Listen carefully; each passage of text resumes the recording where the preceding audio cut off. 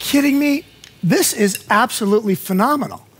I cannot believe this technology. I gotta say, no matter how many times I've ever played any electronic kit, I could never play with full velocity and then be able to do these minute bits of articulation. That is seriously new technology. It's enabling me to play basically quadruple forte and quadruple piano.